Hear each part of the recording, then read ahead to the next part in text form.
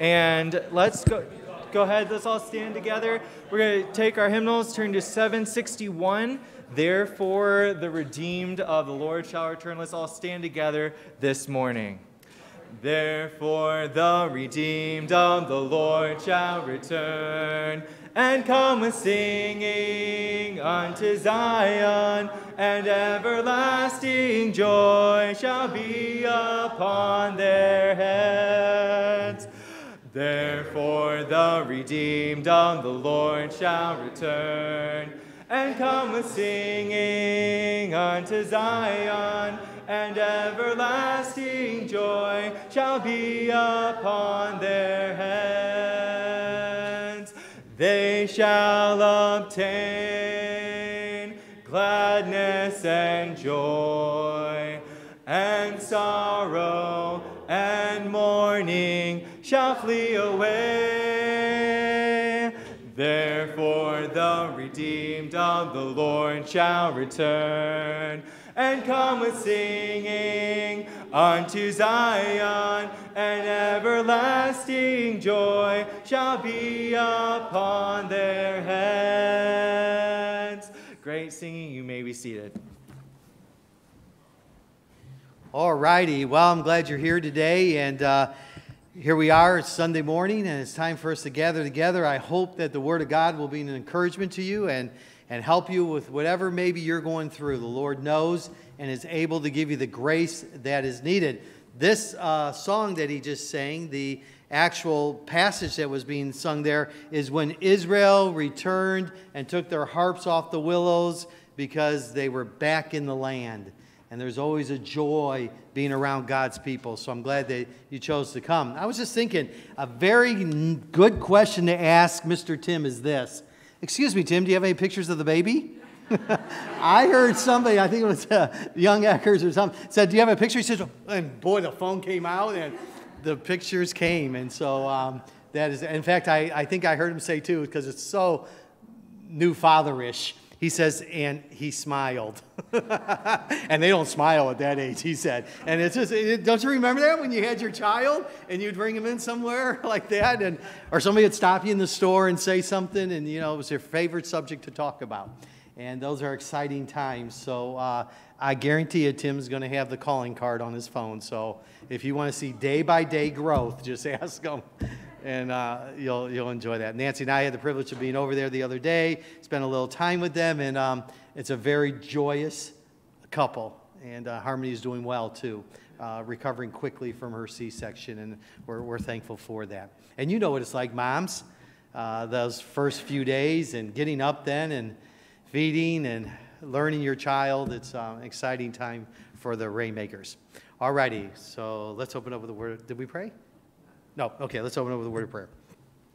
Uh, Father, thank you for new life, new life in the new birth of salvation. And then, Lord, also thank you for uh, children. Uh, many of you mothers here, uh, many are mothers here, and you, you, you have children, and I see them running around and hugging uh, people that they know here. And what a joy it is uh, for that. Now, we pray, Lord, that you'll give us the grace that is needed. Now, we also pray that today, as we open up your scripture, uh, you say that your word gives comfort. And so we pray that you would. Give us comfort where comfort is needed. Give us a challenge where challenge is needed. Give us a rebuke where rebuke is needed so that we can grow in our Christ likeness. Father, help us to finish the year strongly. Help us to end up the year with um, a great joy and triumph in you. And then, Father, if you tarry and we go into the new year, may we have a wonderful uh, 2022 as well in, uh, with our families and, and life and work and all that will transpire next year as well. So, Father, thank you now. Bless and encourage us, we pray in Christ's name. Amen. I do think we have verses. So let me see here. We'll switch there. There we go. Uh, perfect. Perfect. Excellent. Uh, let's say together. We'll start in Malachi. These are our verses for November. Together. Malachi 4 2. But unto you that fear my name shall the Sun of Righteousness arise with healing in his wings, and ye shall go forth and grow up as calves of the stall. Malachi 4 2. Then, of course, our next verse is Psalm 92 2. Uh, 92 12. Ready? Let's say it together. Ready? Psalm 92 12. The righteous shall flourish like the palm tree, he shall grow like a cedar in Lebanon. Psalm 92 12. Okay, Mr. Tim. We appreciate Ryan helping out today. Really appreciate that. Well, let's all stand together this morning. Take your hymnals to song number 336. There is a fountain filled with blood, referencing the blood of Jesus Christ. We're so thankful that Jesus shed his blood to pay for our sin. Let's sing it out this morning. Song number 336. There is a fountain filled with blood drawn from Emmanuel's veins, and sinners plunge beneath that flood, lose all their guilty stains, lose all their guilty stains, lose all their guilty stains. And sinners plunge beneath that flood, lose all their guilty stains. The dying thief rejoiced to see that fountain in his day. And there wash all my sins away. Wash all my sins away. Wash all my sins away. And there may I, though vile as he, wash all my sins away. Dying Lamb, thy precious blood shall never lose its power till all the ransomed church of God be saved to sin no more. Be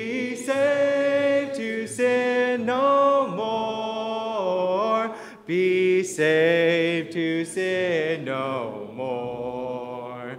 Till all the ransomed church of God be saved to sin no more. Ere since by faith I saw the stream, thy flowing wounds supply. Redeeming love has been my theme and shall be till I die, and shall be till I die, and shall be till I die. Redeeming love has been my theme, and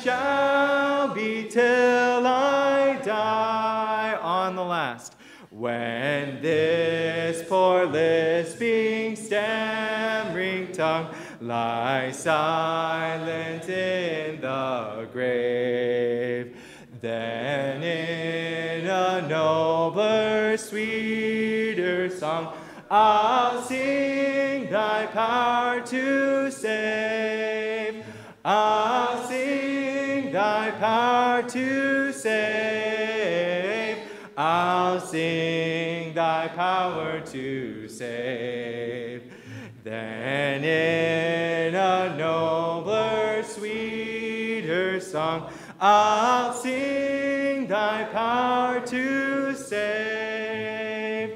Great singing. Five verses, but definitely awesome truth. And what a wonderful thing to sing about. Well, let's continue singing in the Wilds hymnal, song number 142, When I Survey. We're going to sing all four verses. Uh, song 142 in the Wilds, When I Survey.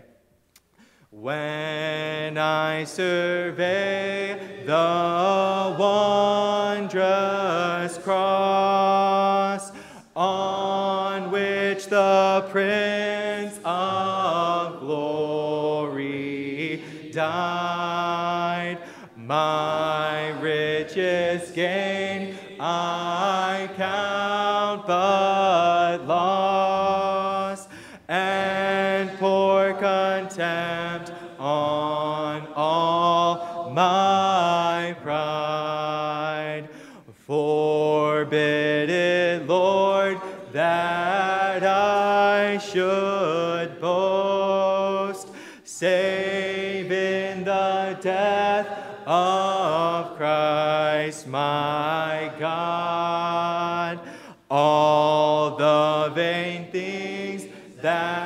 charm me most, I sacrifice them to his blood. Let's sing this one slowly. See from his head, his hands, his feet, sorrow and love flow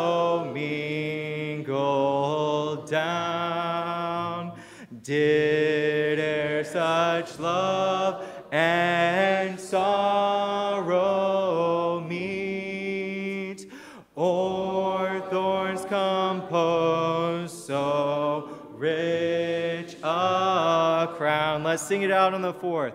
Were the whole realm of nature mine, that were too small. Love so amazing, so divine, demands my soul, my life, my all. Great singing, church. You may be seated. All right, a couple announcements. Um, those that are desiring membership at Faithway Baptist Church, several of you have um, uh, spoken to me um, ab- about that. What we're going to do is on December 6th, uh, right here at 6 p.m. at night, if you have an interest in joining this church, uh, we are going to kind of lay out a little bit about Faithway Baptist Church. Uh, in fact, I have a sign up sheet in the back that you are going to be there on uh, that date. Then I can send you some information via email to prepare you. And then any questions you might have about the church or what we stand for or what we believe or how we operate, we certainly want to be able to answer those questions. It's also going to be a time for you, as our deacons will be here, to listen uh, to your testimony about how you came to Christ. And then from there, that whole group, we hope on the following Sunday, uh, to bring you into membership of a Faithway Baptist Church. So if you said, you know, I've never mentioned it to you, but I do have that desire, then that's the day for you to come and learn more about Faithway Baptist Church. And so you can make an informed decision if this is where you feel the Lord would have you to serve and to use your talents in this local church. And so we would love for you to be there. Um, I'd like to also uh, thank you. It was an incredible week. Uh, I think we averaged over 50, maybe 53 people every night. And it was an, an incredible. Matt was right on right where we needed to be, challenged us. So many decisions were made among our own people. And then on Thursday, to see so many visitors here uh, 11 or 12 from the fire department, some veterans. And what a joy it was to reach out to our community and sow the seed of the gospel, as well as to honor them. Our mayor was here. How privileged we were to have our mayor come here and speak here and and uh, uh, tell them that we're thankful for our community.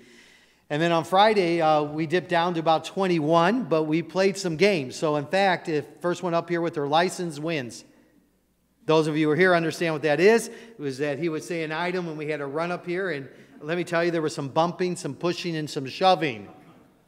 And I was part of it. Because I like to win. and so it was a, uh, it was a good time of um, just laughter. There was just a lot of laughing and doing some silly things. You know, when you're 60, you're up here posing like a, a weirdo. It's kind of embarrassing, probably, to Nancy a little bit. And then uh, the spaghetti dinner for the seniors is on and I will give out some more details. We were trying to work with the seniors to find out how they felt about coming into our building. So we, we gave them the protocol of, of, of um, what would be taking place here so that they knew that you can't completely social distance here. Uh, vaccinations, we covered all of that with them so that they can make a, a, a choice if they want to attend or not. And so uh, we, we got those letters out to one group and and then Jody, a lady that works with the seniors, is getting out to the second group. Um, I don't know how many we'll have. We'll, we'll see as the RSVPs come in. But I will be handing out a sheet for those of you that can come and help. We want to serve our seniors. And so I will get a list ready of um, how you can participate in helping. And then on November 23rd, which is just right around the corner, is our uh, Praise and Pies. So bring your favorite pie with you on the 23rd. That's a Tuesday instead of the Wednesday of Thanksgiving. Bring your favorite pie and we'll put them out on a table. And after we have a, a time of thanking the Lord and, and praising Him for the year, maybe you want to share a testimony, uh, we'll, we'll devour the pies and uh, get off to a good start of calories before Thursday. We want to get a head start. I believe that an ungrateful heart is really the seeds of most of the sins we deal with. Just not being grateful for what God has given us. And so I hope that'll be the case. Remember when Matt was here and what a joy he was, is that God gifts the evangelist to come into a church to do what a pastor doesn't do, and that is to rally us once again and focus on the cross in a more intense way. And Matt did that. He was just an absolute joy to have Hannah and the kids. And he wrote a little thank you note that he wanted me to read to the church here. So I, I will read it on his behalf and then I'll put it um, in the back there on the bulletin board. Uh, dear Faithway family, well, we certainly have been blessed and honored to say uh, the least to have been you th- with you this past week. I am so thankful for your attentiveness to God's word and your response to what God has done in your hearts. I pray that the days ahead will be spiritually fruitful as you reach out and um, uh, watch God work. For you, for uh, thank you for being welcoming to our family, and thank you for giving so generously in our love offering. We look forward to seeing you uh, all in May because Matt you know, helps me in training, so he'll be here in May with the young men. May, when MBT training rolls around. Matt, Hannah, Sammy, and Campbell. So I'll, I'll post that on, on the backboard. I think I uh, covered everything, and so those of you who don't know, we do have a competitive pastor. So Friday was a lot of fun, and part of that fun was watching him uh, be very excited. And it was just a really exciting time anyway. But uh, let's all stand together for our final hymn. We are going to sing in the Wild song number 149, Always the Same. We're going to begin with the chorus and sing the first and the second verse um, following that. Let's sing it out together always the same. Oh, praise his name. Jesus never changes, he's always the same. Always together, his love is forever. Jesus never changes, he's always the same. I am his, he is mine. Jesus knows my name. I can rest in his arms. He's always the same. When I fall, when I call, Jesus takes my hand, cleansing me, lifting me. He helps me to stand always the same. Oh, praise his name. Jesus never changes, he's always the same. Always together his love is forever. Jesus never changes, He's always the same. In His love I'm secure, we shall never part. In His word I will trust and give Him all my heart. In the dark of the night, when my heart would fear, lovingly, tenderly, my Savior is near. Always the same, oh, praise His name. Jesus never changes, He's always the same, always together. His love is forever. Jesus never changes, He's always the same. Great singing. You may be seated. All righty. Those that um, are going back with Mr. Uh, Daniel, you can follow him uh, to the back and enjoy that time with him. I am very thankful we've had quite a few people step up to help out in different areas around the church here. Ryan, thank you. Oh my goodness.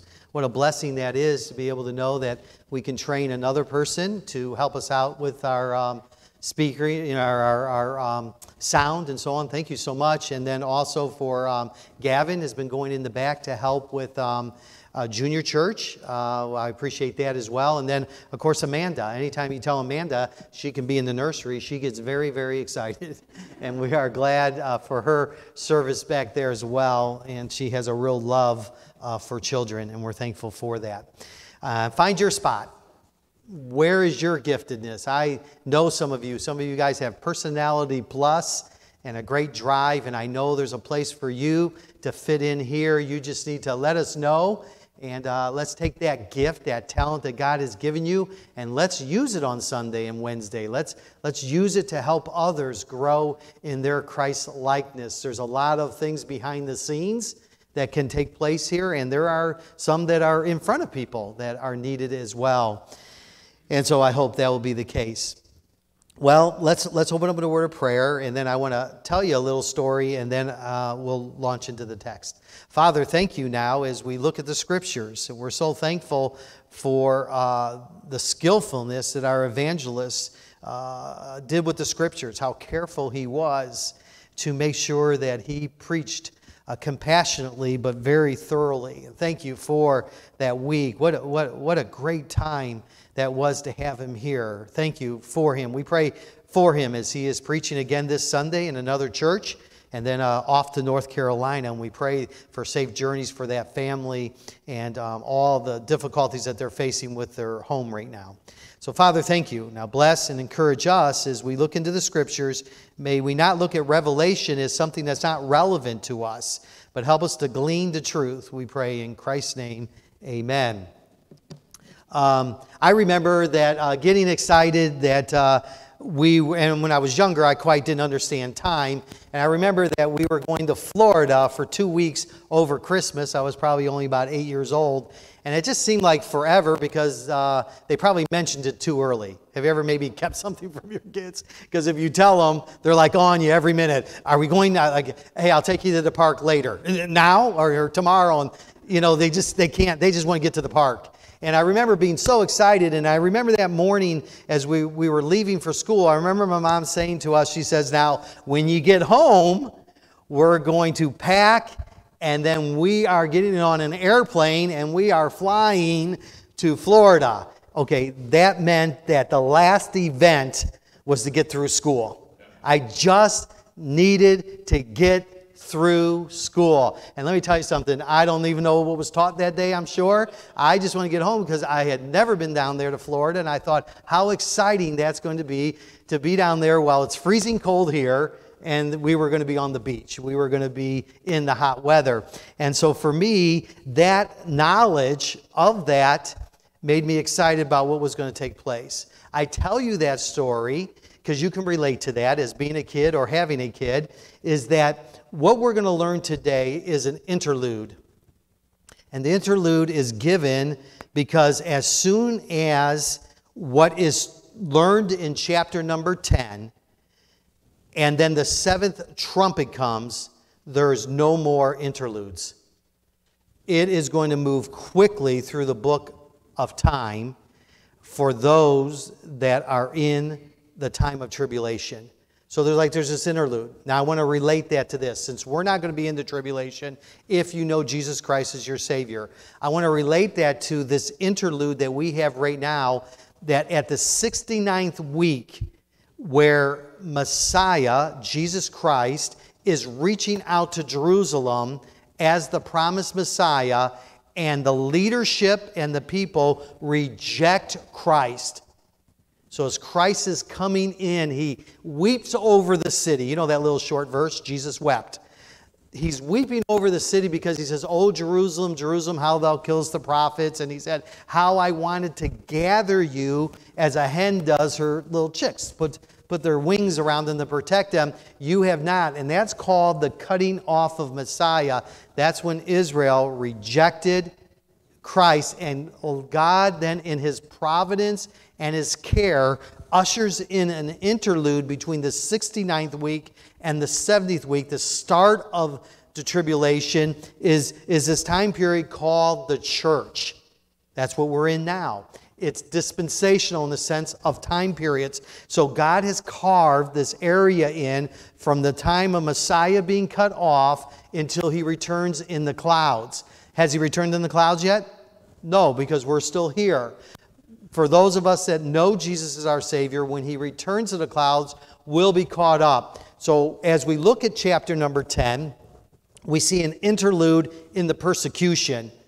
We're not in that because we're not going through the tribulation, but we can relate it to the time period we're in here as well. And I'll try to do that the best I can. So let's take our Bibles and let's turn to chapter number 10 of Revelation.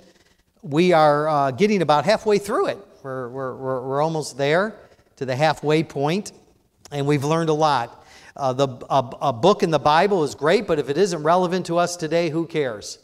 And so somehow we have to make sure that we're bridging this and, and, and relating it to where we are uh, today, where we live. So I'm going to read these 11 verses. There's not many here, and we'll, we'll go through chapter 10. Now remember, we've already set the stage. We've already seen the six trumpets, we've already covered those but the seventh trumpet hadn't sounded. So naturally, if you didn't know 10 was there, you were reading this letter and you said, okay, there was the sixth trumpet, you would expect when you got back to the letter, oh, here's the seventh trumpet. But God decides in his providence, he decides to give us an interlude here, a, a, a, a time period.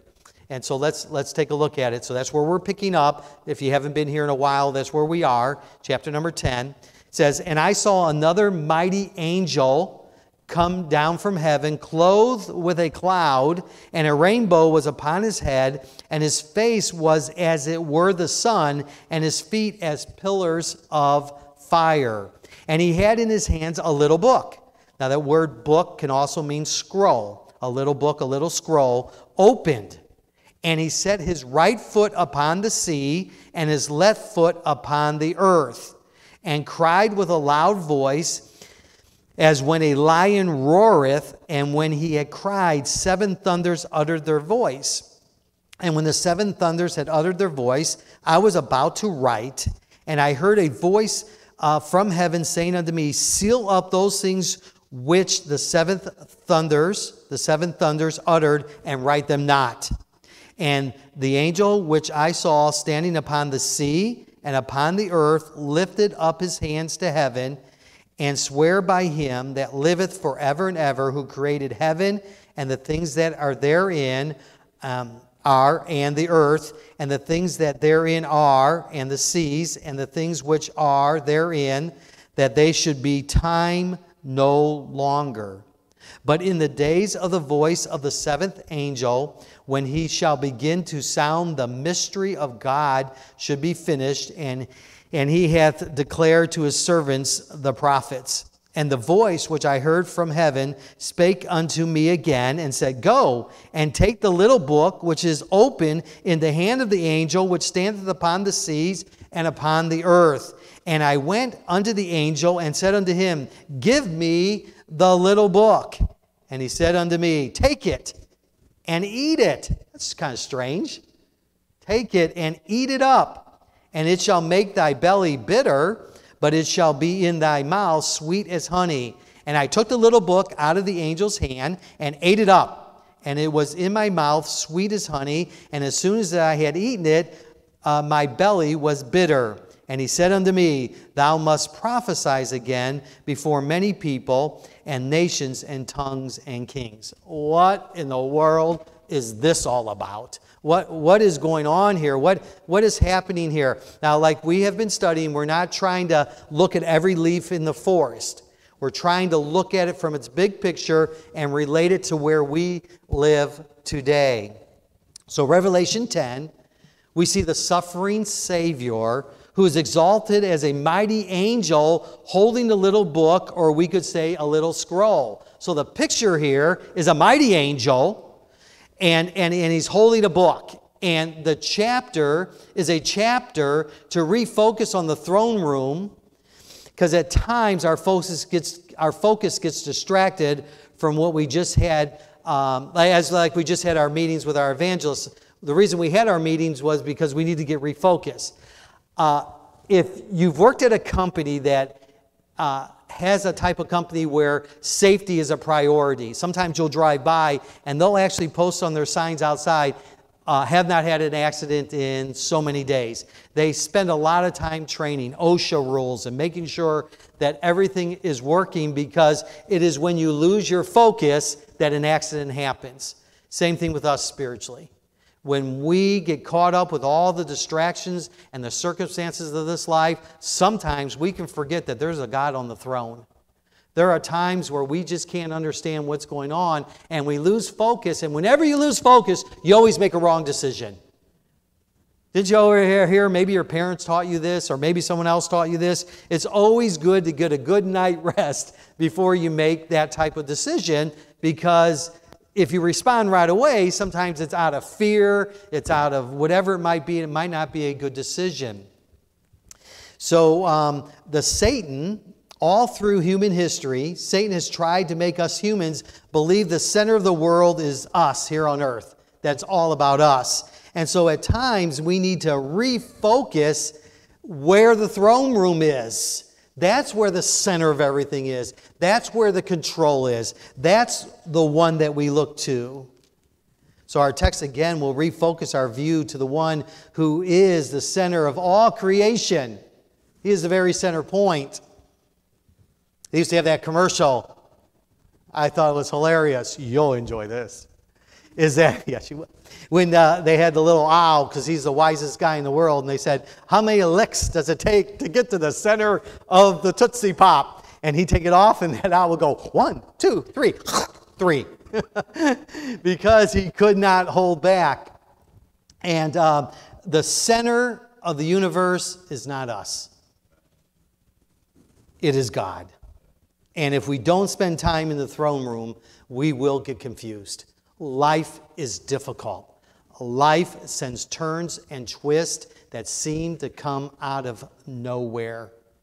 The text today will find an interlude uh, to get focused on verses 5 and 6, the Savior. What we're going to see in this book is two things, but one is just that who God is once again. And we'll see that in just a moment. That the Savior is in charge. Warren Wiersbe, I don't know if you've read any books by him, but he has the Be books and they're very good. He said, Remember, Satan roars to frighten his prey, but the lion of Judah roars to sound his victory. So when we're living down here and we hear the roar of circumstances, it's pretty ugly. It's all fear. It's all uncertainty. It's all, what are we going to do? Keeping us on the edge of fear. But when the, uh, when the lion of Judah, Christ, roars, you know what it says? It's going to be okay. It's going to be okay. I know you don't see that now. I know you don't understand why that happened. But God knows, and when we get to heaven one day, we'll say, Thank you, God. That was a great decision. I could not see that through my circumstances. So, whatever it is, that's where we will get one day. I love that comment by Warren Wiersbe. I just love that. that the, the lion of Judah roars and he sounds his victory. We must always remember that the events of the day will become overwhelming unless we live in the throne room daily. How do you do that? That is why Revelation is a book of comfort. It is also the last moment before the Antichrist is allowed to complete his conquest and force the whole world to submit to his control. So the point that we're at in the book of Revelation is simply this is that once this interlude is over, it's a slippery slide. Have you ever climbed and climbed and climbed up the big slide and then you get to the top and then once you start there's no stopping you know, uh, one of those big, huge slides that they have. Once you decide to get on that roller coaster, it's all over. The next four minutes are totally upside down. And God does that here. There, there, there, there's, there's a momentarily, there's a interlude here, and we're going to try to figure out why and how that applies to us today. So the two points are simply this the angel and the scroll. The angel and the scroll. And the second point is the apostle and the scroll. So we got two main characters here the angel and the apostle. So our first point today is the angel and the scroll. So there's an interlude in chapter 10 before the seventh trumpet. We know there's six trumpets, but we're waiting for the seventh. So we today are looking at this important mini vision between trumpet 6 and trumpet 7. The, the mini vision spends a great deal of time explaining on who this great and mighty angel is because this mighty angel seems to come out of nowhere and is speaking, and he has a book in his hand. That's very curious, and that book is open. In the first point, we want to look at this angel and gaze upon him in the fullness of John's description. In our text, we learn general descriptions, which gives us the identity of this mighty, mighty, mighty angel. Look at your text, uh, Revelation chapter 10, verse number 1. And I saw another mighty angel come down from the heavens, clothed with a cloud, and a rainbow was upon his head, and his face was as it were the sun, and his feet as a pillar of fire. Many try to say that this angel is not Christ, but that it's only a Christological. In other words, it's only a representation or a type of Christ. This is the Lord Jesus, this mighty angel. And we can come to this conclusion by the description of the angel and compare those descriptions with the Old Testament appearance of Christ. So we can take a look at how he's described and some of his attributes. And because of the way he's described and because of some of his attributes, it has to be Christ. Let me lay a couple of those reasons out for you. Uh, we learned a few weeks ago in our study in the book of Joshua that at times in the Old Testament there were uh, Christophanies, where Christ came as an angel, and, and, but it was Christ in the flesh, a precarnate Christ. We learned that a couple Wednesdays ago. The description of our mighty angel describes only what deity could perform. An example would be Revelation chapter 1, where the description found there clearly mirrors Christ. So when you get a chance, go back and look at Revelation chapter 1, and as you read that, you will see how Christ is described in 1 is also how he is described here in 10. And an example, uh, the word angel means messenger, and several times Christ is prophesied as a messenger. We see this in Malachi, Malachi chapter 3, verse number 1. Behold, I will send my messenger, and he shall prepare the way before me. And the Lord, the Lord whom you seek, shall suddenly come to his temple, even the messenger of the covenant. That's an important phrase. Now, in a minute, I'll tell you, whom delight in, behold, he shall come, saith the Lord of hosts. Throughout the Old Testament, the messenger of the covenant has always been recognized as the Lord Jesus Christ.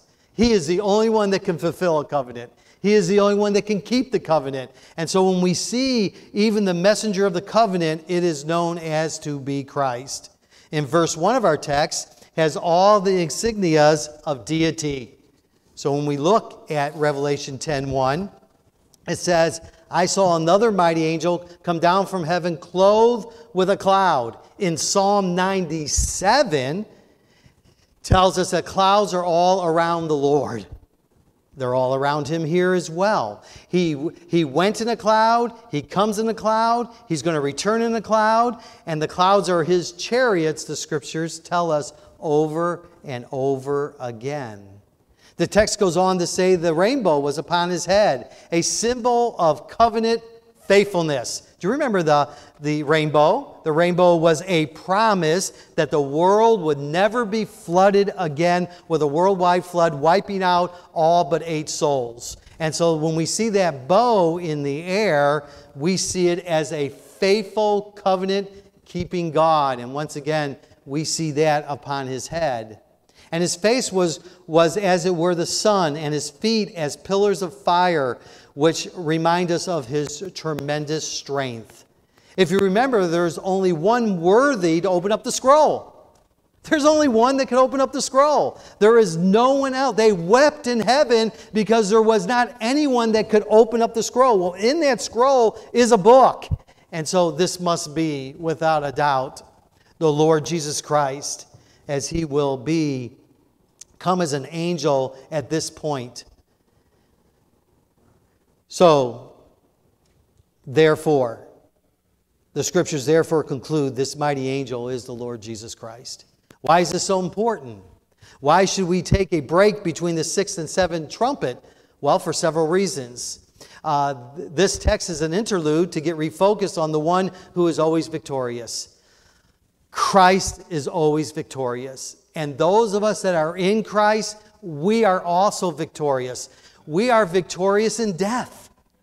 Did you know when you take your last breath one day and you know the Lord Jesus Christ as your Savior, you are in Him, and as He rose, you will too. When you lay off mortality for immortality, the Bible tells us in 1 Corinthians chapter number 15 that we will be with Him. That is encouraging for us. This is very encouraging. Our Savior is alive. Our Savior is seated on the right hand of God. He's interceding for us. Hey, are you going through a tough time right now? Your great high priest has already been there for you. And the only comfort you can real find is, is find him and, and rely on him because he is our great high priest. He is the one who, in the quietness of night, when the tears are flowing, He can help us through whatever we are going through. This is very encouraging. Our Savior is seated on the right hand. He's interceding. He is carrying out the decrees promised by the Father, because worthy is the Lamb who was slain for sinners. What a glorious hope. He can meet your every need as a suffering one who is now exalted and redeemed, or uh, exalted, and we can be redeemed, and He can keep us through the most difficulties of time. You know, if you're a person who flies, anybody here fly often? Has anybody, has anybody not flown in an airplane? Anybody here not flown? Okay, so y'all have. Do you know, like, I love takeoffs. That's, to me, uh, my wife does not like the takeoff and the landings. I love the takeoffs. I love the roar of the engine. I get fired up when I feel the thrust and I feel us going forward and, and, and, and we're going and the plane begins to shake a little bit and, and, and, and all of a sudden it leaves the ground and, and, and you feel it breaking the law of gravity. And, and, and all of a sudden it, thrust up. And the other day I uh, traveled, last time I traveled was when that bad storm was at um, at O'Hare all the way to the airport. I said to my wife, I'm not happy about flying. I'm not happy about going. The, they kept saying the storms were bad. They kept saying, and then the pilot, I, I'm thinking maybe he's a cowboy in his attitude. I can make it. I'm thinking, you know, are you sure? And he says, he says, we're going to go. And I said, oh, he says, it's going to be choppy for the first half hour. But anyways, We, we, we, we flew up through those clouds, and it was lightning and thundering, and we were shaking. But all of a sudden, we popped up out of those clouds, and we're far above the clouds. We got to a place where it was absolutely gorgeous. I told my wife after I landed that I was looking down from that clarity and saw the storm in the clouds. I saw the storm in a whole different vantage point. Going through it was not good. Looking down at it was good. So if you fly, this is the picture here. John is lifted up above the clouds from the persecution and the circumstances of this world to gaze upon Jesus. That's being in the throne room. Listen, I don't know what you're going through, but I know you are. You've got to get to the throne room because Jesus stands across the whole earth. He is in charge of all things. He knows what is best. And so we need to get in that airplane and get above the clouds and look down and see the beauty and the awesomeness of our God. In this vision, his face is shining as the sun, and his clouds are at his feet. I thought about that verse because everything was under me. And I said, Wow, I have a little bit of, of calmness before we have to go back down through those clouds, maybe to land. Is that not like life? But that's our God. That's what grace does when we see the holiness of God in His Word. It lifts us up for a moment to see where we will be one day. I want to tell you a story. You don't know this man. His name is Charles B. Holmshire. Charles B. Holmshire is the founder of Neighborhood Bible Time, and he had a very large impact upon my life. Just like you can probably think of people that have an impact in your life, for good or bad. But for Charles B. Holmshire, the impact upon my life was all good. I don't see anything negative in the impact that he had on me. And we were in Paxton, Illinois, and all 40 of the men were outside waiting for our big dinner. And then the next day, we were launching out all over the United States to do what NBT does. And so we were all on the side there, and Brother Holmshire was living at the time, so it was pre 2013, must have been maybe around 2010, I guess. And so we're all standing out there and we're singing. And I want to tell you, it was beautiful. The men were crying. The men were joyous. They were so excited. And, and the music was unbelievable. And I, I, I looked over at Brother Holmshire. He was kind of standing against the building a little bit. And I realized that he was not there. He was having a rapture moment. I believe he was above all the clouds, so to say, because he could not if I would have said, uh, we call them boss, if I would have said, boss, he probably would have not even heard me. I believe at that moment, and God can do that when we concentrate and meditate on His scriptures and see His holiness, even in the most difficult situations, He can tell us, yes, you're going through this, but it'll be okay. And that's what God wants to do. That's why this verse is important to us. That's why John is telling us this. We're not going to be there. We're going to already be in heaven. So, what good is this? This is the good because we're not in heaven yet. Are any of you going through anything at all? Or is there everything just really just easy going? It's like strawberries and apple pie every day. No. And so we can look at these scriptures and we can see Him. But right now we live, we're living below our privileges. We're living in this world. God says, No, I'm going to keep you here a little longer. I want to fly away. No, I'm not done with you. I, am going to use you in a mighty way to accomplish my will. Stay the course. Don't quit. See, you are a son and daughter of the Most High, but not everything is fulfilled yet. So, chapter 10 reminds us of the promise we have. So, keep on pressing on. Don't quit. Your redemption is nigh. Catch the throne room daily. Go to this chapter and read how high and mighty He is. And when you don't understand, trust Him.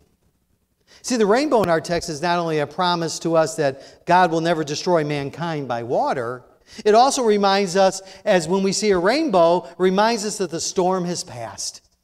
There's something about after a fresh storm, seeing the rainbow. You might not right away think about Noah, but you say, oh, the storm is over. The storm has passed, and uh, you see this beautiful color in, in the sky, and maybe even, maybe even a double rainbow. It reminds us that the storm has passed. It's been exhausted, and the sun is shining on his people. John is letting us know for the believers the storm is past. Jesus lived below the clouds. Jesus suffered and died below the clouds. Jesus is our passionate Savior. He's been where we have been, and He understands and feels all the pain that we have. And now He is exalted. The grave has released Him at His voice. He has passed through the clouds of our sin. He is seated at the right hand of God. This is our Savior, described with a rainbow on his head. This cannot be just any ordinary angel. The suffering is past. The storm of evil has been broken. He is Lord and King. So when he roars, it's victory. It's past. Praise God, the storm is past, your sins are forgiven. It's summed up in the hymn written by Charles Wesley No condemnation now I dread. Jesus and all in him is me. Alive in him my living head, and clothed in righteousness divine. Bold I approach the eternal throne and claim the crown through Christ my own. Wow, that's us. We're victorious. Yes. It's going to be hard. It is going to be difficult. You're going to scratch your head. You're going to say, I'd say pull your hair out, but um, you know, you're going to get to that point where you're going to say, why, why, why? And God's going to say, vindication's coming. And when you get to heaven, you're going to find out that I loved you so much that it was perfect what I did. Perfect what I did. I'm so glad that it is, aren't you? What big storms you are going through right now? You're going through storms. I know you are. Are heavy clouds hanging over you? Sometimes it feels that way, doesn't it? John describes to us that our Savior has already been there for you. He has gone through all things you are facing. Our great high priest has gone through the clouds of your life. Every second of your life, he's already seen.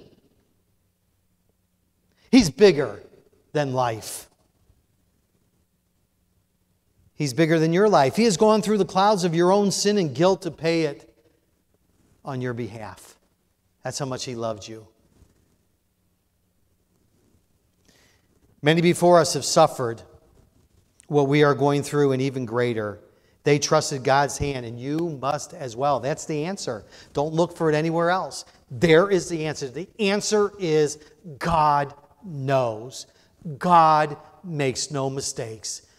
God will be glorified through your pain one day, somehow, somewhere, maybe to somebody else. Who knows? You may never find out until you get to heaven, but you will find it out.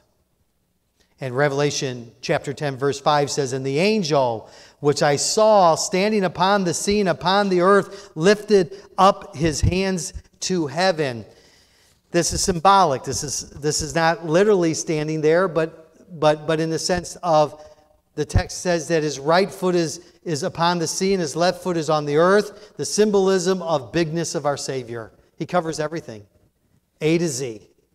A to Z. I love those little uh, warranties they always try to get you in the store. You know, you buy a, a product, you just you know, spend a mortgage to get it, and then they say, "Well, do you want to insure it?" And I said, "Well, no. You just told me it was the best product." Why, you know, will never break. Why would I want to insure it? And then they try to get you insured. Why? Because it's breakable. But the promises we have in Christ are yea and nay.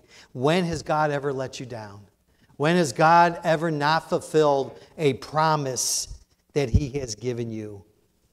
Jesus is able, in the midst of all that is happening in the world the famines, the destructions, and man's inhumanity to man, all the demonic activity, Yet, in the midst of all these things, Jesus, the Lamb Lion, stands over them. He towers over them. He straddles the globe like a giant colossus. He's like Atlas. You remember those when you were a little kid, you know, you have little pencil arms. And they, they, they send you these magazines, right? In Sports Illustrated, and there's, you know, do this and do that, and there's Atlas holding the whole world. Well, Jesus has you in his hands. He's, he's, he's right there holding you. And you must understand that God would never purposely hurt or harm his children. He doesn't do it. When he allows you to go through these, it is for your own good and for his glory always.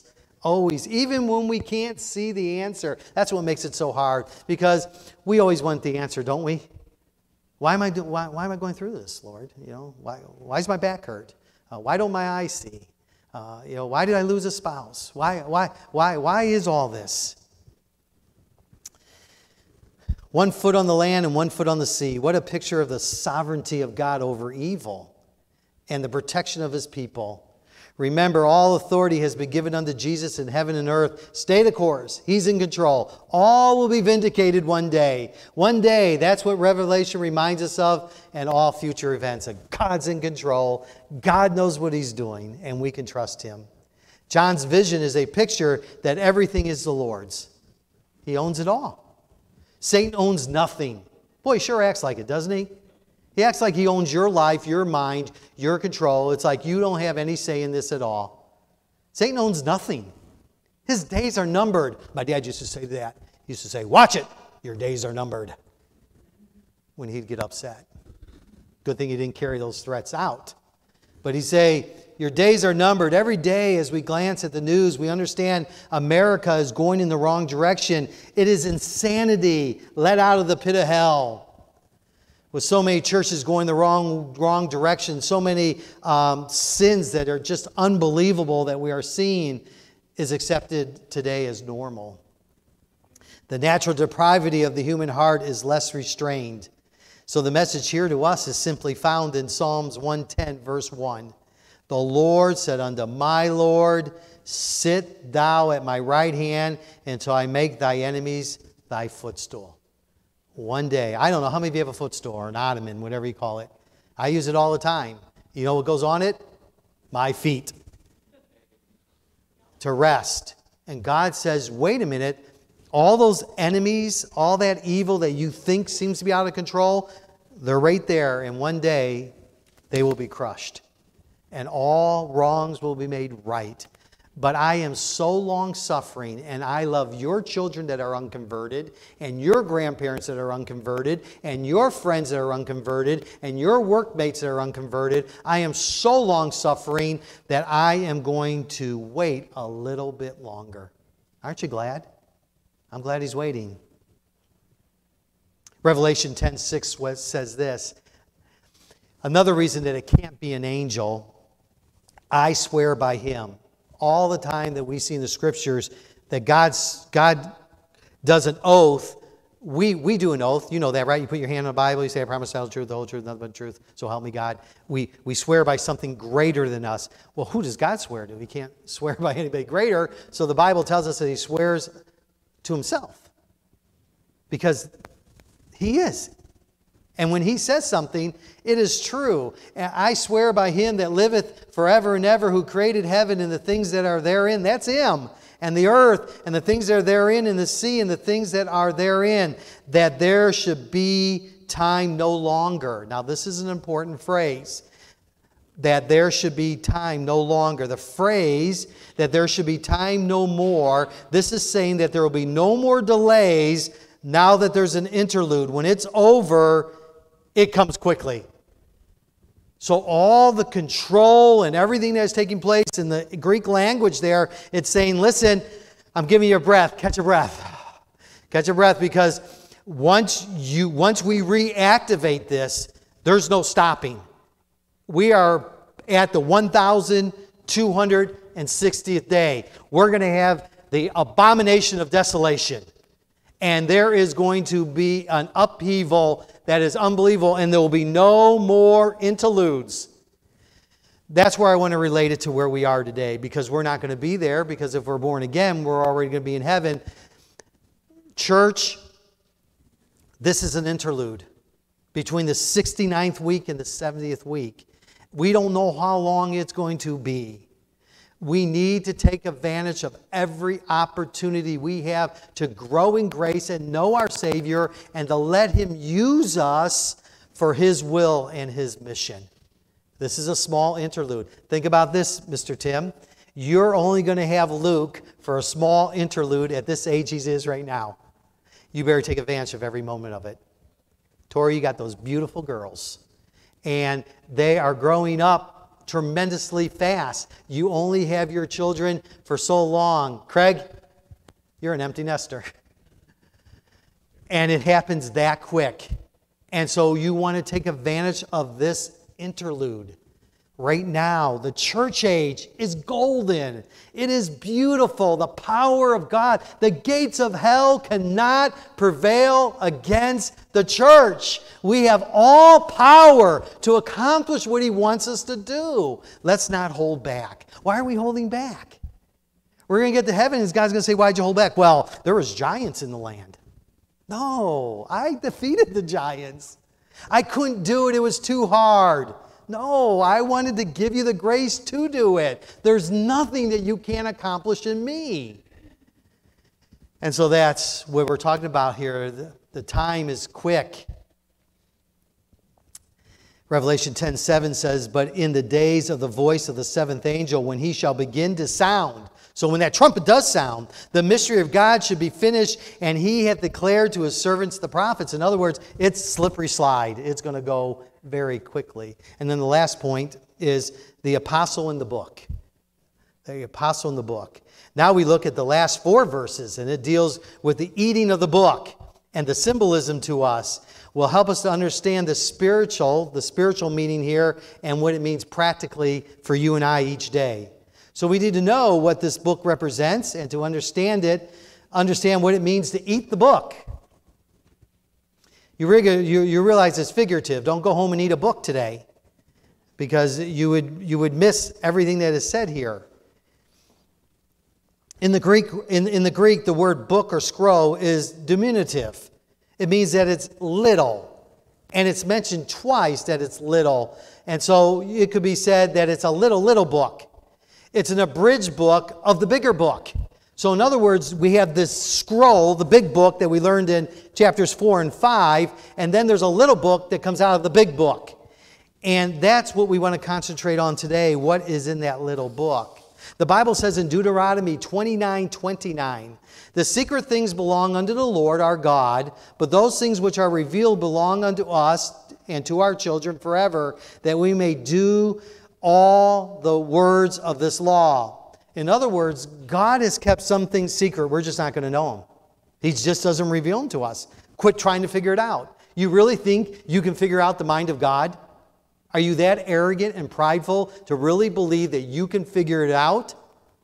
You can't. There are secret things he's not going to let you know. So, this book that John is instructed to take and then go and preach is not the book of God's hidden decrees. The little book is the gospel that is revealed unto us. This little book has the gospel in it, and that is revealed, and we know what the gospel is, and that is what we're to do. The things that are sufficient to our salvation and godly living need to be proclaimed. Just as though there's an interlude before all things and the last moments before the Antichrist is allowed to complete his conquest and force the whole world into uh, control, there's an interlude right now between 69 and 70, week of the church age, to accomplish the mission of making and maturing disciples. Don't spend your time trying to figure out when the Lord is coming in the clouds. He's not going to let you know. You can figure it out all you want to. You can read all the tea leaves. You can read all the conspiracy theories on the internet. You can go and all that stuff right there. Right now, God says John has a little book, and in that little book is the need of the gospel. How do we know it's the gospel? Well, uh, the word mystery here and the way it's used in the New Testament is much different than the way we use it today. How many of you like mystery books? Is there anybody here that's a mystery fan? Yeah, my wife reads a lot of mystery books. Uh, Who Done It? Try to figure that out. Today we think it as a mystery book that we might read. Now Paul uses this, this word mystery 17 times in his epistles. So what does it mean? Well, in all 17 times, he means it in the way of the mystery of the ages, how God could be merciful to a hell worthy bound sinner. The gospel. The mystery in the Old Testament, they didn't understand what the mystery was, but the mystery was wrapped up in a person called Jesus Christ. So it's no longer a mystery to us. We know what the gospel is it's the death, the burial, and the resurrection of Jesus Christ. And so we need to take that and get that out to everyone. That's what he's telling John. The mystery the angel wants to look into, the mystery is now open. What was the mystery in the Old Testament? Is fully understood in the person of Jesus Christ, and that is the gospel. The gospel is an open secret where the great mystery of life is solved. People are always wondering, what's this all about? What's the world all about? What, do I just live, eat, drink, and then die, and they throw me in a hole, and that's it? I die like a dog? And we say, no, no, no, no. Here's the mystery of life. It is now revealed. And the revelation of that is that Jesus Christ died in your place so that you could have a relationship with your Creator and spend all eternity with Him because your sins are forgiven. That is what he's saying you need to do, John. That's what we need to do. John doesn't live in the time of tribulation. So that book is relevant to us today. We need to get the gospel out. We're in this small little interlude of time. God was manifested in the flesh, justified in the spirit, seen of angels, preached unto the Gentiles, believed on in the world, and received up into glory. Six statements are made, and they all center on Jesus Christ. The gospel is Christ. The mystery is no longer a mystery unless we keep it a mystery.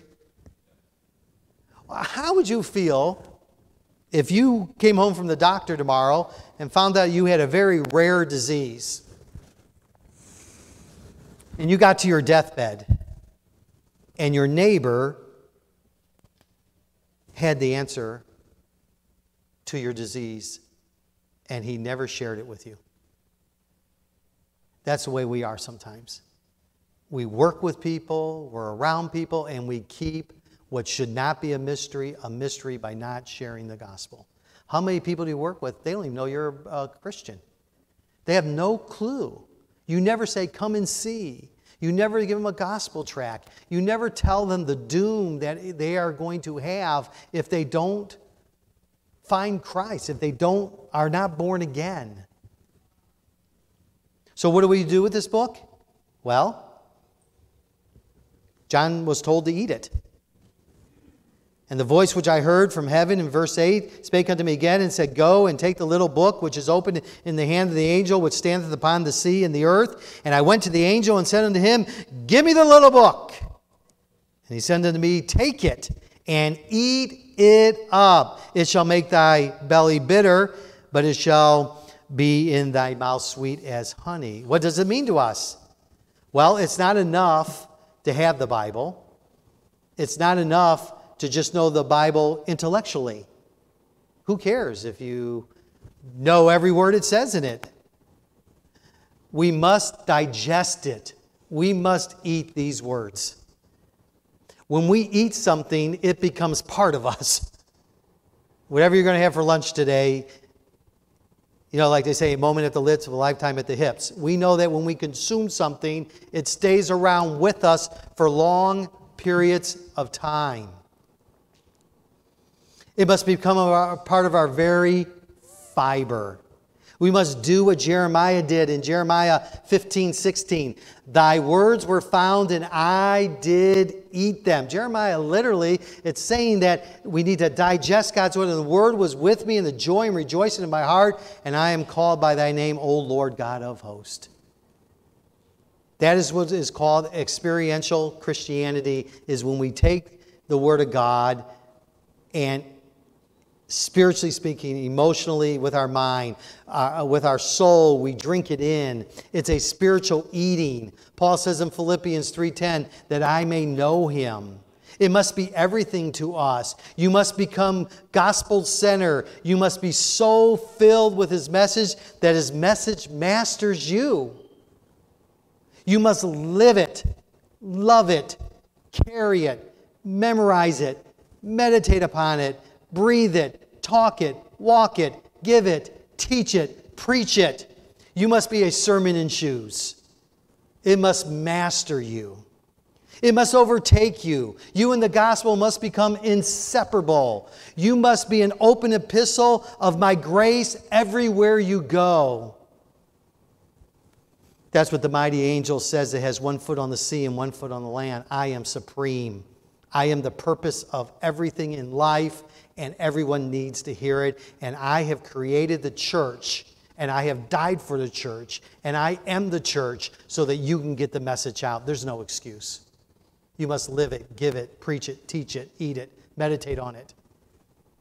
It must become you.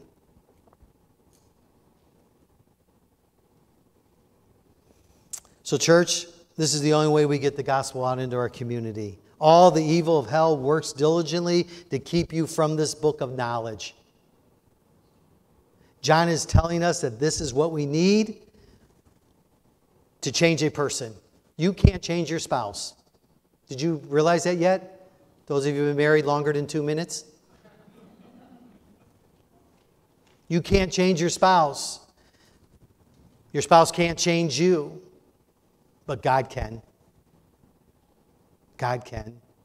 John is telling this is what we need to reveal the power of a changed life, to change a community. And in Revelation 10 11, and he said unto me, Thou must prophesy again before many peoples and nations and tongues and kings. He's talking to John that I want you to take this little book and before kings and people, I want you to give them what's in this little book because it is not a secret, it is not a mystery. It is out there. We have it. We, you can't fully understand the gospel unless you're born again. But then he says an interesting thing as we close he takes it and he eats it up, and it shall make thy belly bitter, but it shall be in thy mouth sweet as honey. So we have a contrast here. God uses contrast quite often in the scriptures. It's not all sweet, there are times it's bitter.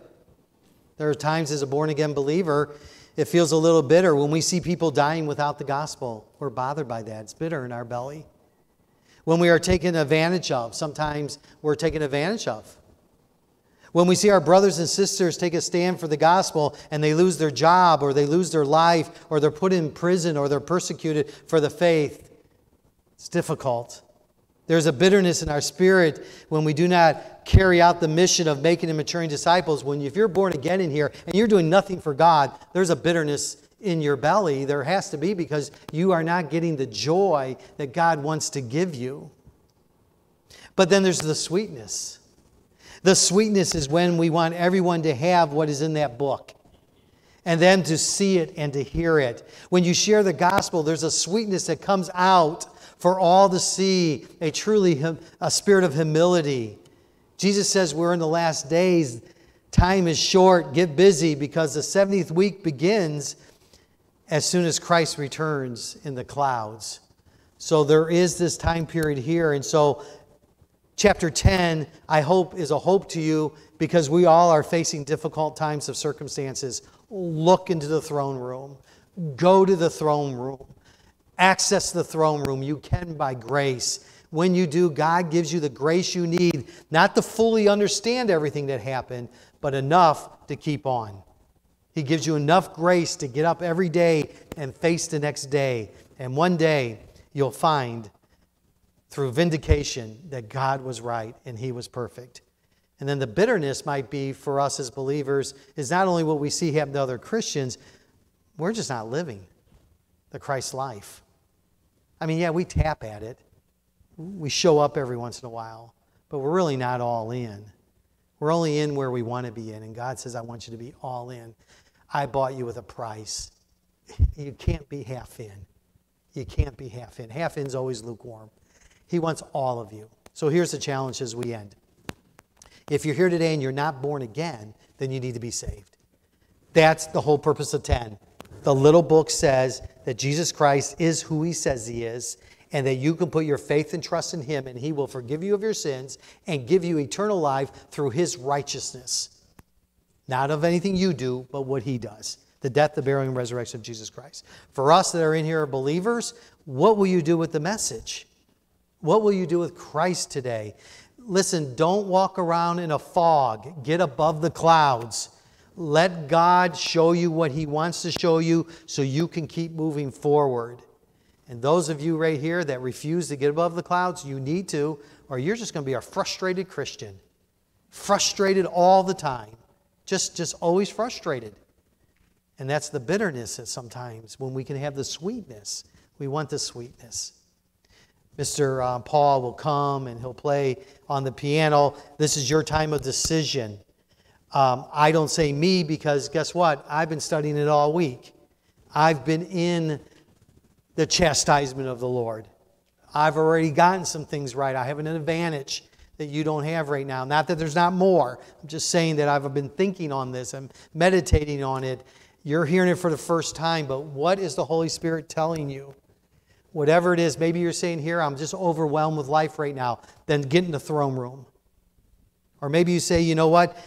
I am just a pew sitter. I really don't use my talents. I don't use my gifts. I don't share my faith. Then let's make those changes. And you're here today and you say, you know what? I'm just not saved. I'm not born again. I don't know Jesus. I need to be saved today. You come. Let me or my wife or somebody take the scriptures and show you how you can know for sure where you'll spend eternity. As Mr. Paul plays uh, a hymn there, you make the decision you need to make. Are you unsaved? Humble yourself and come forward. Come and grab my hand and let us take the scriptures and show you how you can know for sure.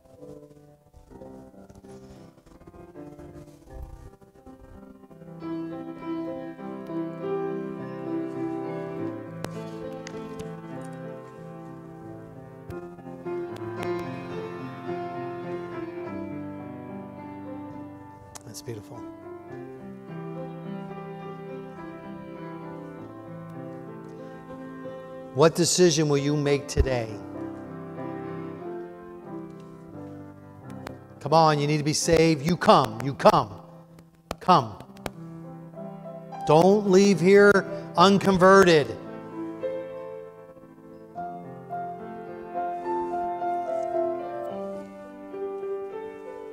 I sense that need is here.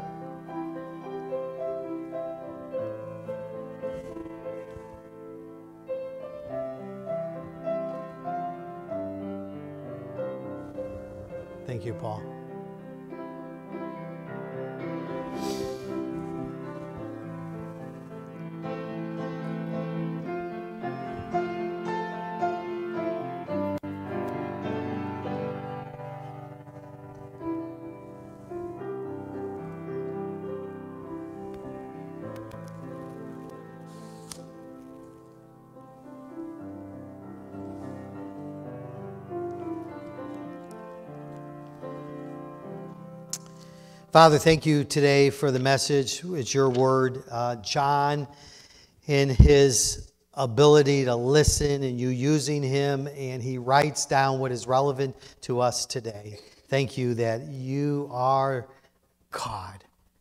Thank you for that. Comfort us. We need comfort every day. Now, Father, we also pray that whatever decision needs to be made would be made. And if there would be anybody here unconverted, that they would come and catch me before they leave. We pray in Christ's name, amen. Now we're going to double dip here a little bit. And you say, what does that mean? It means I'm going to ask you to stay a little bit longer. Uh, over on the side here to my right, to your left, is the communion uh, cups. If you would like to take one, if you know Jesus Christ as your Lord and Savior, you may participate, and they're over here to my right. If you want to just grab one, um, that'll be fine. And uh, thank you. Tim, would you mind grabbing me one? I forgot to bring one up here with me.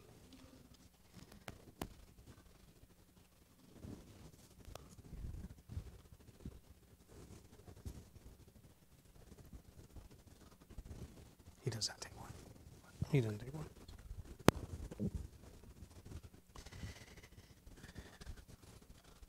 We started getting these because of the safety of COVID, so you'll have to, you know, uh, unseal it and open it up to, um, not to get to the bread. There's a little piece of bread in there too, but um, I, I, I, put a, a piece of bread in there, a cracker in there, but you'll have to open it up to get to the juice, of course. So, all righty. Well, what's going to happen here is I'm going to explain here uh, 1 Corinthians 11, read a couple verses, and then Mr. Paul is going to play through a hymn, a few stanza of it, where it give you time to just uh, review your own life, to just kind of think through things, because the Bible says that we should not take the Lord's table unworthily. In other words, we ought to clear our conscience of anything that the Holy Spirit is telling us that um, would be unconfessed sin. Don't sit there and look for something. You know what that is. If there's been like something the Lord's been reminding you for weeks, hey, you're bitter against this person, you're angry against this person, the Bible says it's better for you not to take the Lord's table than to take it with not confessing that sin. He says that's why some of you sleep, are asleep among us, because you have taken the cup unworthily. So the scriptures say, in uh, 1 Corinthians uh, chapter number 11, verse number 23 For I have received of the Lord that which I also deliver unto you, that the Lord Jesus, the same night in which he was betrayed, he took bread.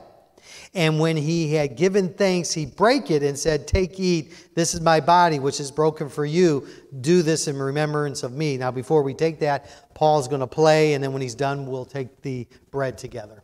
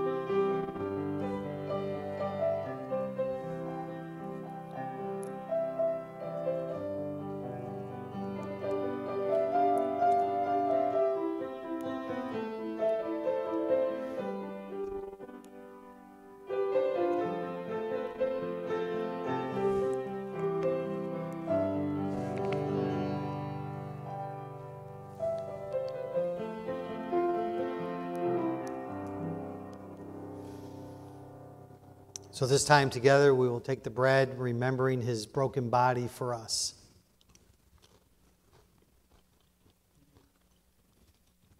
Then, after the same manner, also he took the cup, and when he had supped, saying, This cup is a new covenant, is a new testament in my blood. This do ye as oft as you drink it in remembrance of me. And so, as he plays, let's take time to remember the shed blood of Jesus Christ on Calvary, and then we will drink the cup when he's finished.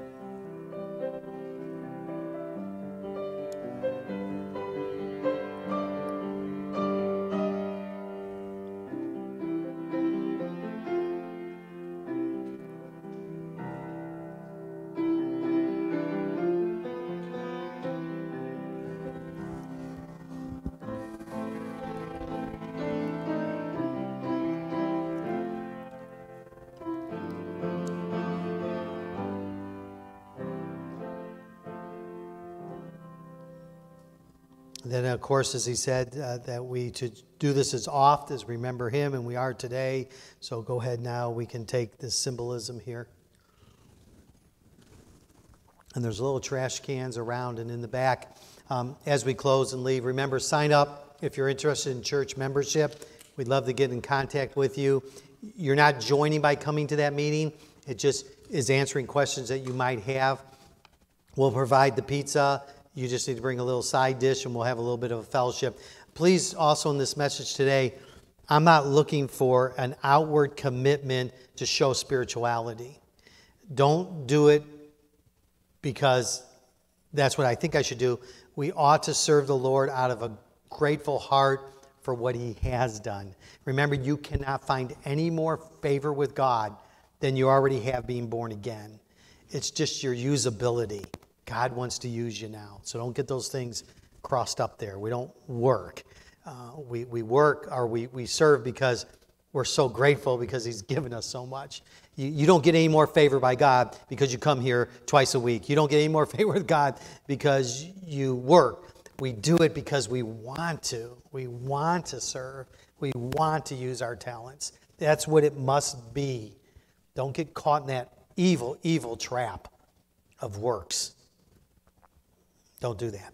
Father, thank you for Christ. Give us a good time of fellowship now. That's part of our worship. May we enjoy and may the, the sounds rise high of us laughing and enjoying one another. We pray in Christ's name.